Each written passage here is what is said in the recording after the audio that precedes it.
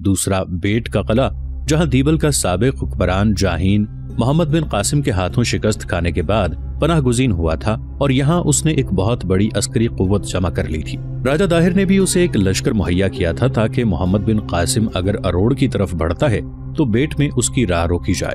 तीसरी बड़ी कुत कच्छ और सोरतम का हाकिम मोको था। इन तीनों कुतों से निमटने के बाद मोहम्मद बिन कासिम राजा दाहिर से टकरा सकता था। लिहाजा नैरून से कूच करने के बाद सबसे पहले मोहम्मद बिन कासिम ने कला अशबहार का रुख किया। अशबहार के लोगों ने काफ़ी जंगी तैयारी कर रखी थी और उसके चारों तरफ़ खंदक खोदी गई थी।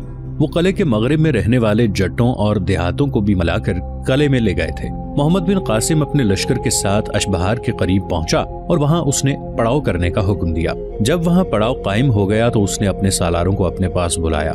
जब सारे सालार जमा हो गए तो मोहम्मद बिन कासिम ने करीम बिन उमर की तरफ़ देखते हुए कहना शुरू किया, मेरे भाई, मैं लश्करियों की तरतीब में कुछ तब्दीली कर रहा हूँ। मेरे ख्याल में तुम महसूस नहीं करोगे।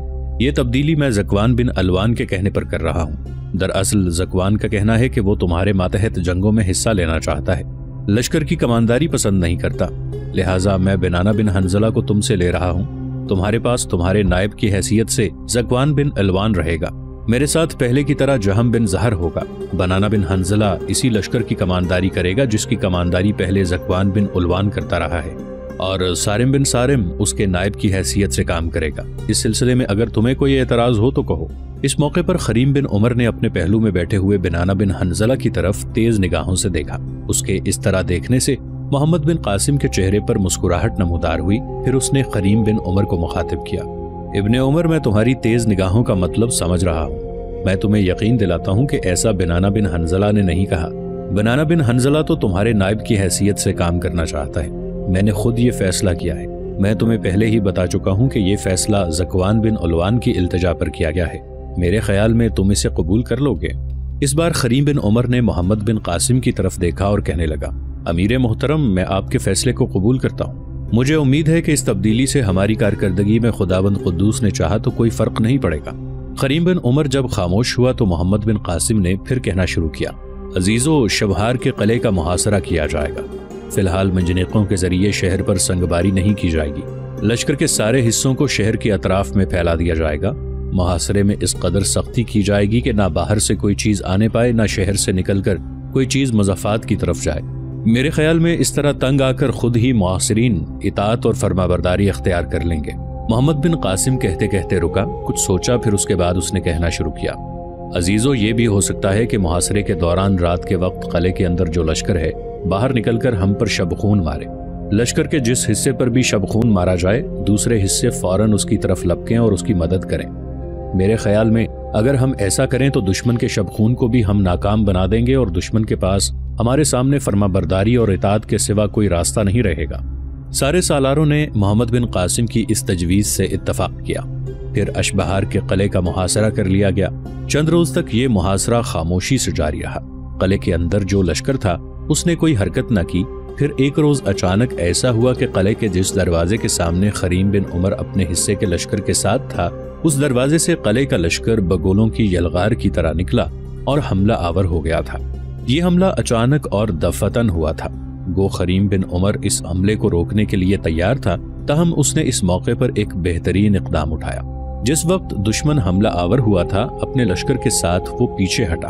वो चाहता था कि दुश्मन का सारा लश्कर एक बार शहर से बाहर निकल आए और उससे टकराए, इसके बाद जवाबी कार्रवाई की जाए। खरीम बिन उमर अपने लश्कर के साथ पीछे हटता रहा, यहाँ तक कि कले के अंदर जिस कदर लश्कर था, वो सारा निकलकर उस पर टूट पड़ा। एन उसी मौके पर दाएँ बाएँ मोहम्मद बिन कासिम और बिनाना बिन हंजला अपने अपने हिस्से के लश्करियों के साथ दाएँ बाएँ से दुश्मन पर हमला आवर हो गए थे। करीम बिन उमर ने जब अंदाज़ा लगाया कि दुश्मन के पहलुओं पर मोहम्मद बिन कासिम और बिनाना बिन हंजला जरब लगाना शुरू हो गए हैं, तब वो भी संभला। फिर अचानक उसके लश्कर में खुदावंद कुद्दूस के नाम की तकबीरें बुलंद हुईं और इसके साथ ही करीम बिन उमर जवाबी कार्रवाई करते हुए इस तरह हमला आवर हुआ जैसे कोहर के गलाफ में रकीक आतिश भड़क उठती है, जैसे ज़िंदगी के असरार में फना के आंचल तलखियों की अमीक गहराइयाँ पैदा करते चले जाते हैं। इस सह तरफा हमले को कले का मुहाफिज लश्कर ज़्यादा देर तक बर्दाश्त न कर सका। उन्हें यकीन हो गया कि थोड़ी देर मजीद जंग रही तो शिकस्त उनका मुकद्दर बन जाएगी, लिहाजा उन्होंने पलटकर फिर कले में दाखिल होना चाहा। लेकिन अब ऐसा नामुमकिन था, इसलिए कि बिनाना बिन हंजला और मोहम्मद बिन कासिम ने उनकी वापसी की सारी राहें मसदूद कर दी थी।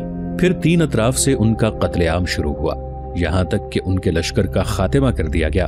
यूँ अशबहार के कले पर मोहम्मद बिन कासिम का कब्जा हो गया। अशबहार पर कब्जा करने के बाद मोहम्मद बिन कासिम कले में दाखिल हुआ। कले वालों ने अमान तलब की। मोहम्मद बिन कासिम ने उनकी दरखास्त को कबूल कर लिया। उन पर खराज लगाकर वहाँ अपना हाकिम मुकर किया। कुछ दिन लश्कर को वहाँ सस्ताने का मौका फराहम किया, फिर दरियाए सिंध के मगरबी किनारे पर बेट के कले की तरफ़ बढ़ा। बेट के कले में उस वक्त देबल का सबक वाली जाहीन एक खासे बड़े लश्कर के साथ मौजूद था। उसे जब खबर हुई कि मोहम्मद बिन कासिम बेट के कले की तरफ़ बढ़ रहा है तो उसने कले से बाहर निकलकर मोहम्मद बिन कासिम की राह रोकी। लेकिन थोड़ी देर की जंग के बाद जाहीन को बदतरीन शिकस्त हुई और वो अपनी जान बचाकर भाग गया। यूँ बेट के कले पर भी मोहम्मद बिन कासिम का कब्जा हो गया था। अशबहार और बेट दोनों कलों पर कब्जा करने के बाद मोहम्मद बिन कासिम ने सूरत के हाकिम मोको को एक पैगाम भिजवाया। तेज रफ्तार कासिद के ज़रिए उसने राजा मोको को लिखा कि हमारी इतात कबूल करो। जिस इलाके के तुम हाकिम हो, उस इलाके की हुकूमत तुम्हारे पास ही रहने दी जाएगी। जवाब में मोको ने लिखा कि जो वादा आपने मुझसे किया है, मैं उसका शुक्रगुजार हूँ और मैं आपकी इतात दिलो जान से चाहता हूँ, बल्कि अपने जिन में बेहतर समझता हूँ। अगर किसी बहाने से ये हादसा पेश आए तो फिर हम हुक्म के ताबे रहना लाजमी समझेंगे। लेकिन जिन बादशाहों के नमक का हक हम खिदमत गुजारों पर लाजिम है कि उनसे अहद शिकनी और बेवफाई करना ऐसा गुनाह और खयानत है जो दूरंदेशी और अमानत से बईद है, और जब तक मुखालिफ की ताकत से ऐसा खौफ पैदा ना हो जो कि नफ्स और जान का खतरा बन जाए, उस वक्त तक अमानत और दूरंदेशी से किनारा कश होना नापसंदीदा तरीका है। उसने मजीद लिखा कि राजा दाहिर हमारा अज़ीज़ है। अगर वो सरबुलंद है तो उसकी सरबुलंदियों में हमारा भी हिस्सा होगा। उसके आराम और तकलीफ़ में शरीक होना हमारा फ़र्ज़ है। लेकिन ये भी एक खुली हुई हकीकत है कि अब ये मुल्क हमारे हाथों से निकलकर दूसरों के पास जाने वाला है। अक्लमंद इंसान वो है जो मौके से फ़ायदा उठाए। आपने चूँकि मुझ पर भरोसा किया है और फयाजी से पेश आए हैं, इसलिए इसका तकाजा है कि मैं भी आपका साथ दूँ, लेकिन अगर मैं बगैर जंग के आपके साथ हो जाऊँ तो मैं खानदान और लोगों की नज़र में जलील हो जाऊँगा। बस मैं चाहता हूँ कि ऐसी तदबीर की जाए, जिससे मैं आपका ताबे फरमान भी हो जाऊँ, और मेरी इज़्ज़त पर हर्फगिरी भी ना आए, और अपने अवाम के अलावा राजा दाहिर की नज़रों में भी ना गिरूं। इस सिलसिले में जो तदबीर मेरे जहन में आती है, वो ये है कि मैं अपनी लड़की को शादी के बहाने से एक कस्बे साकरा की तरफ़ जाता हूँ। आप ऐसा कीजिए कि एक लश्कर मेरे ताकुब में लगा दीजिएगा। मेरे साथ मेरे मुहाफिज दस्ते भी होंगे। बस वो लश्कर हम पर हमला आवर हो। हम कोई मुजाहमत नहीं करेंगे। इस तरह आप उस लश्कर के ज़रिए मुझे गिरफ़्तार कर लीजिएगा। जब मैं गिरफ़्तार हो जाऊँगा तो राजा दाहिर यही समझेगा कि मैं अपनी बेटी की शादी के लिए साकरा जा रहा था कि मुसलमान मुझ पर हमला आवर हुए और मेरे मुहाफिज दस्ते को शिकस्त देकर उन्होंने मुझे गिरफ़्तार कर लिया। इस तरह मैं अपने राजा और रियाया दोनों की नज़रों में बाइज्जत रहूँगा। मोहम्मद बिन कासिम ने मोको की इस तजवीज को मंजूर कर लिया। चुनाचे उसने तजवीज के मुताबिक अपने अमायदीन और मुहाफिज दस्तों के साथ मोको साकरा रवाना हुआ। मोहम्मद बिन कासिम ने बिनाना बिन हंजला को चंद दस्ते देकर साकरा की तरफ़ रवाना किया। बनाना ने मोको को गिरफ़्तार करके मोहम्मद बिन कासिम के सामने पेश किया। गिरफ़्तार होने वालों में उसके खानदान के अलावा 20 बड़े ठाकुर भी मौजूद थे। जब मोको को उसके खानदान के ठाकुरों, सरदारों और मुहाफिजों के साथ मोहम्मद बिन कासिम के सामने पेश किया गया तो मोहम्मद बिन कासिम उनके साथ नहायत इज़्ज़त और एहतराम से पेश आया। उसने अपने करीब एक नशिस्त पर मोको को बैठने के लिए कहा। मोको बैठ गया, मोहम्मद बिन कासिम ने एक लाख दिरहम बतौर इनाम उसे दिए और खिलत से सरफराज फरमाया। फिर उसे एक सब्ज, चितर जिस पर मोर बना हुआ था वो दिया। उसके खानदान के लोगों और बड़ों को भी खिलात और घोड़े अता किए। इसके अलावा बेट के इलाके की हुकूमत मोको के सपुर्द कर दी गई। मजीद नवाजिश ये की कि एक तहरीरी फरमान जारी किया कि मोको की हुकूमत नस्ल दर नस्ल उसी के खानदान में कायम रहेगी। मौरखीन का ख्याल है कि मोको को जो इनाम दिया गया, ये अपनी किस्म का पहला अतिया था जो उसने दिया और उसकी दरखास्त पर कब्जा और जोराहा की अराजी भी बतौर मिल्कियत लिख कर दी और मोको को और उसके फर्जंदों को तफवीज की गई और उसे ज़रूरत के वक्त कश्तियाँ भी फराहम करने की नसीहत की गई। मोको से निमटने के बाद मोहम्मद बिन कासिम दरियाई सिंध को अबूर करने की फ़िक्र में था कि राजा दाहिर को मालूम हुआ कि उसके हाकिम बगावत करके यके बाद दीगरे मुसलमानों से मिलते जा रहे हैं। इस सूरत हाल पर वो बेहद बरहम हुआ। लिहाजा मोहम्मद बिन कासिम से निपटने के लिए उसने एक काफ़ी बड़ा और जर्रार लश्कर तैयार किया और मुसलमानों का मुकाबला करने के लिए भेजा। ये लश्कर दरियाए सिंध को अबूर करने के बाद मोहम्मद बिन कासिम के लश्कर के सामने आया। दोनों लश्करियों के दरमियान हौलनाक जंग हुई। राजा दाहिर की लश्कर की बदकिस्मती के दरियाए सिंध के किनारे मोहम्मद बिन कासिम खरीम बिन उमर और बनाना बिन हंजला ने राजा दाहिर के उस लश्कर को भी बदतरीन शिकस्त दी और बचे कुचे लश्करी भाग कर अड़ोड़ की तरफ़ चले गए। मोहम्मद बिन कासिम जानता था कि अब उसका टकराव बराह रास्त राजा दाहिर के साथ होगा। लिहाजा उसने मुनासिब समझा कि कबल इसके के लड़ाई शुरू की जाए, एक कासिद राजा दाहिर के पास रवाना किया जाए ताकि वो उससे बात करे। मुमकिन है इस गुफ्तगु से कोई बेहतर नतीजा निकले। इस बातचीत के लिए मोहम्मद बिन कासिम ने दो अशखास का इंतखब किया। एक इंतहाई उम्दा जंगजू और मज़हब से अकीदत रखने वाला शामी नौजवान था। दूसरा मौलाना इस्लामी। ये शख्स दीबल का रहने वाला था और मोहम्मद बिन कासिम के हाथों उसने इस्लाम कबूल कर लिया था। हल्का बगोश इस्लाम होने के बाद उसने मौलाना इस्लामी का खिताब पाया। बहरहाल मोहम्मद बिन कासिम ने इन दोनों को राजा दाहिर के दरबार में भेजा। जब ये दोनों राजा दाहिर के दरबार में पहुँचे तो दाहिर के रवाज के मुताबिक दोनों ने ना उसके सामने सर झुकाया और ना सजदा किया। राजा दाहिर को उन पर बहुत गुस्सा आया।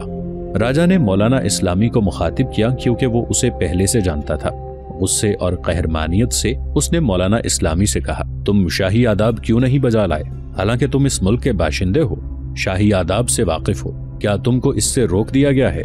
मौलाना इस्लामी ने एक निगाह अपने साथी शामी नौजवान पर डाली। निगाहों हुई निगाहों में इशारा हुआ। फिर मौलाना इस्लामी ने राजा दाहिर को मुखातिब करके कहना शुरू किया। सुन राजा, खुदा के फजल से मैं मुसलमान हो चुका हूँ। जब तक मैं आपके पास था, आपकी रियाया में था, मैं आपके दरबार के आदाब बजा लाना ज़रूरी समझता था। अब मैं मुसलमान हूँ। मुसलमान सिवाय अल्लाह के किसी के सामने सर झुकाना जायज़ नहीं समझते। राजा दाहिर को यह सुनकर और भी गुस्सा आया और कहा कि अगर तुम एलची बनकर ना आए होते तो मैं तुमको ज़रूर कत्ल करा देता।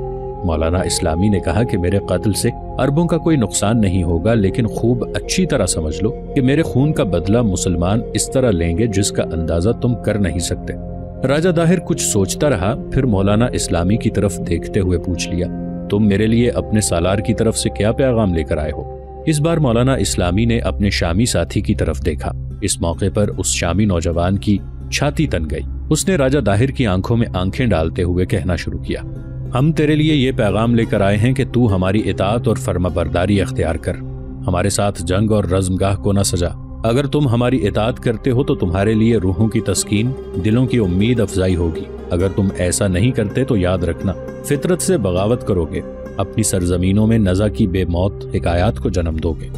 हम लोग आईना गर्दिश के दौरान में अमनो सदाकत के परचम बुलंद करने वाले हैं। हमसे टकराओगे तो अपनी रातें उजाड़, शाम उदास, दिन को नारवा जबर का शिकार कर लोगे। सुन राजा, जो कुत भी हमसे टकराई, खून में नहाई, दास्तानों को जन्म देती चली गई। जिसने भी हमारे सामने तलवार को बेनयाम किया, शोरिश जज्बात में उसके लिए आहों के सफीने हर सू फुगा हर सिमत आहें उठ खड़ी हुई। राजा, अगर तुम भी हमारे खिलाफ रज्मगाह को सजाओगे तो सुन लेना, तुम्हारे ऐसा करने से नब्ज हस्ती रुकेगी, साजे हयात टूटेंगे। वक्त की गर्दिश में हर सांस शोले की ज़ुबान इख्तियार करेगी। बेहतर यही है कि हमारी इतात को कबूल करो। इस तरह तुम अपने गम को खुशबख्ती में तब्दील कर सकते हो। राजा, एक कासिद की हैसियत से मैं तुम्हें मशवरा दूँगा कि हमारे खिलाफ बगावत और सरकशी इख्तियार न करना। अगर ऐसा करोगे तो याद रखना, हमारे मुजाहिद खुशूनत आमेज बर्फ़ की कड़क की तरह आगे बढ़ेंगे। तुम्हारी सरजमीनों पर जुल्मत की परछाइयों की तरह फैल जाएँगे। फिर इन सरजमीनों में ऐसा होलनाक हादसा होगा कि भूखी चीलें और कव्वे ज़मीन पर उतरेंगे। राजा दाहिर अब तक बड़े सब्र और तहमुल से ये गुफ्तगु सुनता रहा था। जब कासिद खामोश हुआ तो वो बड़े पुरगजब और बरहम लहजे में पड़ा। तुम हमारी ताकत और कुत से वाकिफ नहीं हो तुम्हारा जर्नैल मुख्तसर सा लश्कर लेकर हमारी सरजमीन में दाखिल हुआ है। जब हम खम ठोंक कर उसके सामने आएँगे तो याद रखना, वो हमें बदमस्त कहरमानों से कम नहीं पाएगा। और अपनी सरजमीनों में हम उसे ऐसा मुबतलाए रंजो गम करेंगे कि उसके पास पीठ फेर कर भागने के सिवा कोई चारा न रहेगा। इस मौके पर उस शामी नौजवान के चेहरे पर एक मुख्तसर सी मुस्कुराहट नमोदार हुई। एक बार उसने कहा जाने वाले अंदाज में राजा दाहिर की तरफ़ देखा। उसके बाद राजा के कसर में उसकी आवाज़ फिर गूंज गई। राजा, तुम किस कौम के खिलाफ ऐसे अल्फाज इस्तेमाल कर रहे हो? वो कौम जो दजला से नील तक फैली हुई है। इस कौम के कवी बाजुओं वाले मुजाहिद जब सिपाह गराना काबिलियत के साथ अपने दुश्मनों पर वारिद होते हैं तो वो जबरदस्तों के लिए हैबत का जेर दस्तों के लिए पनाहगा बन जाते हैं। राजा, तुम लोग ज़िंदगी को तरसते हो। हम मौत की तमन्ना करते हैं। ज़िंदगी जिसका आगाज़ रहमे मादर और अंजाम कब्र पर होता है, कसम खुदा वंदे वाहिद की। उस ज़िंदगी को तो हम अपनी छाती पर सजाए फिरते हैं। राजा जिस तरह फजा बहारों में मुस्कुराती है, गर्मा में कहकहे लगाती है, खिजा में आहें भरती है सरमा में रोती है, ऐसे ही हमारे कानून फितरत के पासबान मुजाहिद बजम यारा में हरीरो गुल से भी बढ़कर हैं। प्यासे नफस के लिए लबों का तिरियाक अमन और खैर के तलबगारों के लिए जमालो मेहर का मंबा है। राजा, मैं तुम्हें नसीहत करता हूँ कि हमारे खिलाफ जंग न डालना। अगर ऐसा करोगे, याद रखना हमारे मुजाहिद रमूज कन फयाकून से निकलकर गम के बयाबानों की रेग की तरह तुम्हारी सरजमीनों पर छा जाएँगे और तुम्हारे कसर में हसद और नस्ली तासुब के अंदर जिल्लत और मस्किनत के अलावा कुछ नहीं रहेगा। मैं तुमसे कहता हूँ कि मेरे सालार मोहम्मद बिन कासिम ने जो सबसे बड़ा पैगाम तुम्हारी तरफ़ भिजवाया है, वो ये है कि बताओ तुम दरियाए मेहरान को उबूर करके हमारी तरफ़ आओगे या हम दरियाए मेहरान को उबूर करके तुम्हारे साथ दो दो हाथ करने के लिए पेश आए। शामी जवान यहाँ तक कहने के बाद रुका। दम लिया और उसके बाद फिर अपनी गुफ्तगु का सिलसिला जारी रखते हुए कह रहा था, सुन राजा, तुम्हें दो बातों में से एक बात इख्तियार कर लेनी चाहिए। या तो तुम दरिया पार करके हमारे पास आओ, इस सूरत में तुम्हारे लिए रास्ता छोड़ दिया जाएगा, इसे रोका नहीं जाएगा, या फिर हमारे लिए रास्ता दो ताकि इस्लामी लश्कर दरिया को उबूर करके तुम्हारा मुकाबला करे। शामी नौजवान की इस गुफ्तगु से राजा दाहिर का चेहरा गुस्से और गजबनाकी में सुर्ख हो रहा था। कुछ देर तक वो सोचता रहा। हाथ के इशारे से उसने उस शामी नौजवान को चुप रहने के लिए कहा। उस वक्त उसके पहलू में एक तरफ़ उसका वज़ीर, दूसरी जानब हारिस अलाफी बैठा हुआ था। राजा ताहिर कुछ सोचता रहा, फिर अपने वज़ीर की तरफ़ देखा। उसका नाम सियाकर था। उसे मुखातिब करके कहा ये जो मुसलमानों के सफीर ने आखिरी बात की है, इस सिलसिले में हमें क्या करना चाहिए? स्याकर नाम का वज़ीर कहने लगा कि हुजूर मेरी ये राय है कि मुसलमानों को दरिया के इस पार आने दिया जाए क्योंकि दरिया के उस तरफ़ सारा हमारा इलाका है। जब वो हमारे इलाके में आएँगे तो दरियाए सिंध उनके पीछे होगा। जब हमारे लश्करियों से उनका मुकाबला होगा तो गल्ला और हथियार सब हमारे पास मौजूद होंगे और दरिया के उस तरफ़ से मुसलमानों को कोई मदद नहीं मिल सकती। इस तरह हमारी फतह और मुसलमानों की शिकस्त यकीनी हो जाएगी। अपने वज़ीर सियाकर के साथ मशवरा करने के बाद राजा दाहिर ने अपने पहलू में बैठे हारिस अलाफी की तरफ़ देखा, फिर उसे मुखातिब करके कहने लगा, हारिस अलाफी, तुमने सुना मेरा वज़ीर कहता है कि मुसलमानों को दरिया पार करने की इजाज़त दी नहीं चाहिए। ताकि उनके पीछे दरियाए मेहरान हो। उन्हें अपनी पुश्त की तरफ़ से कोई रसाला, कोई कुमक ना मिल सके। उसका कहना है कि इस तरह हम मुसलमानों को शिकस्त देने में कामयाब हो जाएँगे। अब तुम बताओ, हमें क्या करना चाहिए? हारिस कुछ देर सोचता रहा, फिर राजा दाहिर को मुखातिब करके कहने लगा, मेरे ख्याल में तुम्हारे वज़ीर की राय दुरुस्त नहीं है, क्योंकि वो मुसलमानों की आदात और तबा से वाकिफ ही नहीं। अव्वल तो मोहम्मद बिन कासिम जो लश्कर लेकर आया है, उसमें बड़े बड़े सूरमा बड़े बड़े बहादुर और शुजा मुजाहिद शामिल हैं। और वो मौत के सामने ज़िंदगी की परवाह करने वाले नहीं हैं। दूसरे ये कि मुसलमान जब लड़ाई के लिए निकलते हैं तो सर हथेली पर लेकर निकलते हैं। उनका भरोसा सिर्फ़ खुदा पर होता है, और हर वक्त खुदा से दुआ करते हैं कि इलाही तेरे बंदे हैं, तेरे दीन को फैलाने की खातिर मैदान में आए हैं। इलाही हमें इस लड़ाई में शहादत उस वक्त अता फरमा जबकि हम अपने से दो गुनों को मार लें। हारिस यहाँ तक कहने के बाद रुका, दम लिया, कुछ सोचा, फिर दोबारा उसने कहना शुरू किया। राजा मुसलमान जब अपने दुश्मन के मुकाबले आते हैं तो इस कदर बहादुर हो जाते हैं कि लड़ाई से मुँह फेरना नहीं जानते। वक्त के वो अपने दुश्मन को पसपा न कर लें।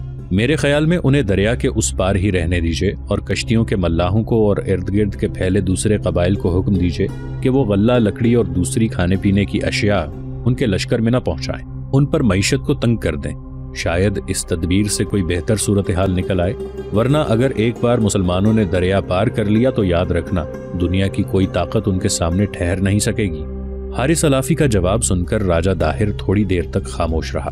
उसे चुप लग गई थी। फिर अपने वज़ीर सियाकर से कहने लगा, तुम्हारे और हारिस अलाफी के मशवरे में बड़ा फ़र्क, बड़ा तफावत और बोध है। इसी की बिना पर मैं कोई आखिरी फैसला करने में कामयाब नहीं हो सका। मैं दूसरे अमायदीन के अलावा अरोड़ की उस साहिरा से भी मशवरा करूँगा जो गुजरे हुए हालात के अलावा आने वाले हालात की भी निशानदही करती है। मौरखीन ने इस साहिरा का ज़िक्र तफसील से किया है, लेकिन उसका नाम कहीं नहीं लिखा। तुम ऐसा करो, मुसलमानों के इन दोनों सफीरों के ताम और क्याम का उम्दा बंदोबस्त करो, साथ ही आज रात साहिरा को मेरे पास लेकर आओ। मैं साहिरा से मशवरा करने के बाद अपनी सल्तनत के दूसरे अमायदीन से भी सलाह मशवरा करूँगा। इसके बाद कल इन दोनों कासिदों को अपना आखिरी जवाब दूँगा। इसके साथ ही राजा दाहिर अपनी जगह से उठ गया। उसका वज़ीर से आकर दोनों कासिदों को लेकर चला गया था।